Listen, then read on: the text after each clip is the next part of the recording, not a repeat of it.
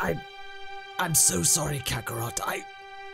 It's been so long since I've had contact with people that I loved. It's okay, buddy.